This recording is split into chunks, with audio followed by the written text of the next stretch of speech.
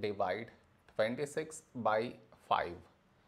To do this division, we should frame it in this way. 26 here, 5 here.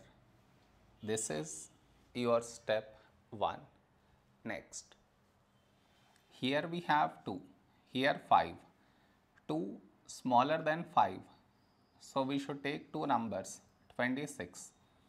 A number close to 26 in 5 table is 5 5s 25.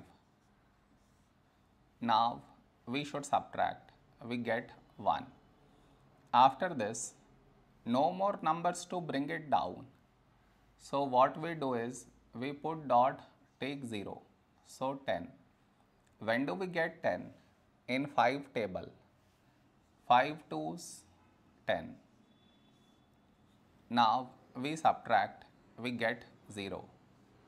We got remainder 0. So this is our quotient